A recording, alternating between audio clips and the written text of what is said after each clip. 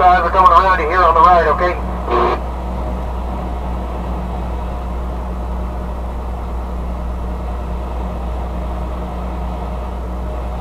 Looks like station wagon tried to cut off this Lucky Star driver and uh, got spun around sideways.